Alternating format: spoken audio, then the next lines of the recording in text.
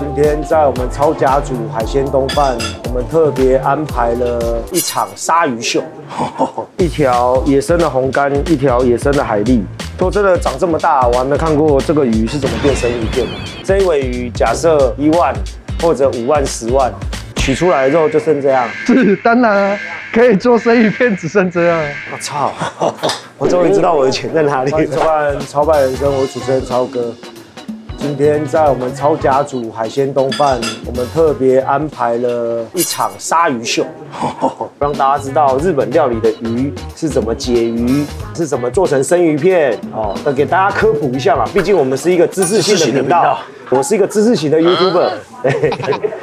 好，我们今天举办了一场聚会啦，就是佛我们黑卡的兄弟满桌的这个，呃，这样的海鲜盘，再加上四罐握寿司，这样子一千二，连成本都不够，跟你报告一下。所以今天就是我们的一个黑卡感谢季，然后让我们今天黑卡兄弟有一个美好的回忆。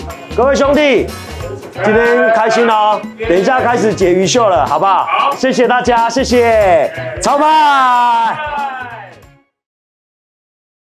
刚说的就是这两条嘛？对啊，一条野生的红干，一条野生的海蛎。说真的，长这么大，我还没看过这个鱼是怎么变成鱼片的。你只是一条二十万先付了，呃，都还没看到鱼嘛？看不到，看不到。在海鲜市场是五分钟之内就要决定的。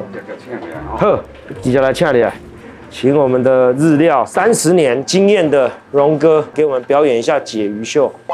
请小叶师傅帮我们介绍一下。这尾鱼的特点跟我们的鱼跟人家有什么不一样？这个是船员钓起来之后活体的时候就已经给它挠脚，在船上放血，因为这样子会让它不会产生酸味。这尾是什么？野生红干。现在这个季节红干比较肥美。解鱼就是每天必须做的工作。是，我们都半夜买回来之后，马上当场处理它的鱼鳃、鱼肚、鱼内脏，避免它肚子里面一些食物没有消化完，或者是里面有残留的血，我们必须要尽快处理，尽快的把这些内脏取出来，然后避免鱼肉产生分解嘛。是，请问一下荣哥，是不是日料要从最基础的工作开始做？比方说鲨鱼就需要很久，对不对？哦，两年吧。两年，一开始要学基本功嘛，对不对？要有不教了。龙哥现在是在取那个红干肚的肚膜跟鱼翅，这一块是最好吃的。真的假的？真的真的。这块里面有骨头嘞。有有有，龙哥已经取好了。那等下会请大家试吃，熟成过跟没熟成过，有放血跟没放血的差别。好，为什么人家说熟成生鱼片的美味更上一层楼啊？凯哥好，凯哥好，你应该也没看过一条鱼在你面前变生鱼片吧？我看过一个女生做过。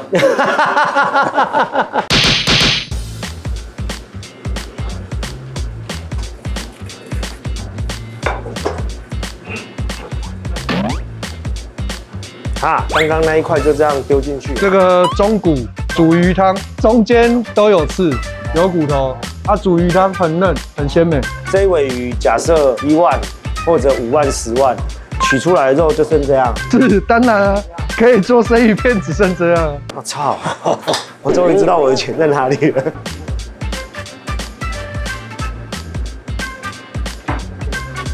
超级油的大块。对，如果它们没有那么油的时候，它会像果冻一样的颜色。它有油脂的时候，它会粉粉的，因为它就有点。白色的油，它连筋，你看它都化掉了。说是哦，是食材不要在你手上的停留时间太久。对对，手的温度就会影响到鱼的鲜度嘛。看在荣哥这样做起来，就觉得这个握寿司一定很好吃哦。各位兄弟，先吃吃看这个没有熟成的，兄弟来，直接用手拿嘛。那从 一整条鱼变成握寿司到十分钟。对啊，哇，那我们现在来做一个对比组，熟成生鱼片的握寿司，这两者之间就有很明显颜色的不同。这个是白皮油鳍鱼，海中和牛，它的油脂跟一般的红干是没有办法比，尤其在这个季节里面，它的油脂饱满。对，十一二月的时候吹东北季风的时候，为什么吹东北季风它油脂会比较？因为吹东北季风的时候会变冷，然后它会吃很多东西，就跟人一样。冷的时候就会想要吃东西。哦，这个油花真的漂亮，我也知道为什么它叫海中和牛，因为这尾鱼花了我很多钱。所以你现在在身上画刀就是要断筋嘛。是，等一下会让你们吃的时候口感比较好。小叶也有超过呃二十五年的这个日料的资历了哈。我是喜欢鱼啊，可以待在鱼市很久很久很久。里面会有一些老前辈，他们怎么挑鱼，老前辈会教我们，我会偷看。小叶师傅是一个鱼痴啊，也是一个鱼狂。他一天可以在鱼市场待超过十个小时，还有凌晨回来要解鱼，还要做熟成。就像我们待到早上七点还舍不得回家那种心情。你在鱼市场坚持的动力，应该跟他在那个酒店坚持的动力一样。这叫做职人精神。对，职人精神，一辈子只做一件事情就会有所成就。所以我相信你会有所成就，倾家荡产。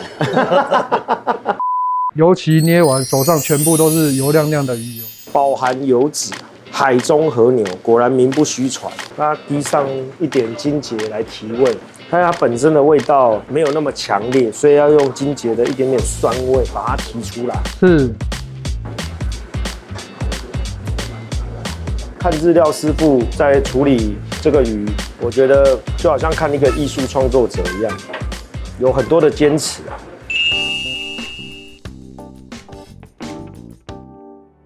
我们最主要生鱼片经过熟成的用意，除了它可以保存，然后我们也可以永续海洋，不会一直捕捞。捕捞来之后，你一天用不完，隔天它就坏掉了，然后你又再去买。大海中没有这么多鱼可以让。供食我们吃，那主要说熟成是要让客人感觉到这个鱼原本它的甜味在哪里。因为一刚开始活体来的时候，直接切给客人吃，它的酸味其实是很明显。那我们把它放在盐冰水中，让它静置下来两三天之后，我们再宰杀它，然后宰杀完之后放到熟成室，让这些鱼的甜味。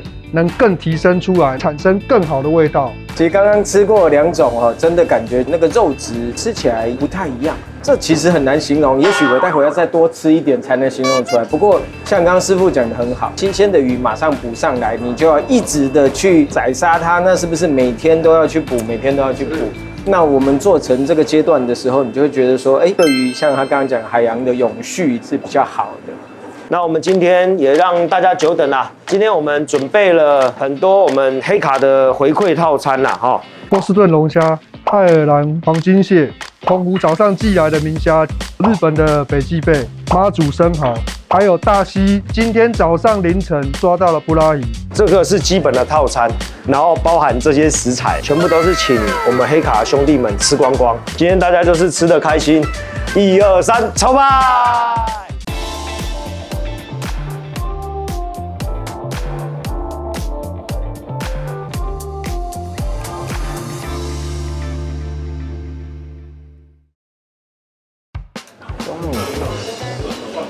位兄弟还可以吗？可以，可以啊，可以啊，可以。好好吃，对，恭喜你。对，这个如果以我做餐饮这十几年啊，我吃到这个真的是够水准，惊艳到我。谢谢，谢谢，谢谢。妹妹好吃吗？你是日料控对不对？对。听说他很喜欢吃酱油，对不对？我很喜欢吃寿司沾酱油跟芥末。但是今天吃叔叔他的店，我我看你们有什么沾，我没有沾诶。为什么？因为就很甜呐。这个不是自己叔叔才讲不是不是，真的不是。我看起来很诚恳，超。我想我们自己说自己好不好，倒不如我们来访问专家。这个是我的前辈。比我们早入门的都是前辈 哦，我跟大家郑重的介绍，动赏何时也是我的黑卡会员小豪，来谢谢少哥。动赏何时当时拍了四支影片嘛，第一支几百万人观看，所以动赏何时造成捷运站被瘫痪，他从地下室开始排排排排五六十公尺，排到捷运里面。啊，可以再走。第四只螃蟹季更夸张，当时大概排队两百、三百公尺。我们以往自己船在抓嘛，每个产季一天大概可以卖个两三千只。后来那一阵子每天都是破万，后来这台风来，卖到不够卖。我跟客人说，我可以退你钱，他不要生气。我不要，我要螃蟹，我不要你退钱。吼完之后，我也不知道怎么，他把我电话挂了。我不要钱，我要螃蟹。今年台风比较多，连三个。台湾红红炙烧的哈，这个太好了。这个是上面应该是鱼干没有那么肤浅。哦，这是海蛎鱼干，这吃的真的超好。所以这个鱼是红头吗？炙烧红头。来，首先我们请梅梅帮我们品尝一下，用表情来证明。我不能讲哦。好，来，少吃一个。我都还没有咬下去，那个香味就已经跑出来了。入口即化。对。然后它那个干有把那个香气提出来，加上那炙烧味道，它的饭没有捏紧，很松软。握寿司那个师傅的功力是蛮深厚的。下次会叫他们在炙烧上面的那个海蛎鱼的鱼干再多烧一点点，相信那个油脂在融化以后会更棒。我的东西不管好与坏，我都会讲实话。我觉得这个东西是我可以再要求、再进步。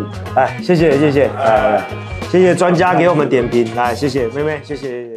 各位兄弟，东西应该还可以了哈，有用心在做，希望以后大家兄弟友谊长存。喜欢我们节目，请记得按赞、订阅、分享，我们带你看见不一样的超派，不一样的超家族。一二三，超派！如果你也想成为下一位爆红创作者，请打开下方资讯栏链接，一起来投稿吧。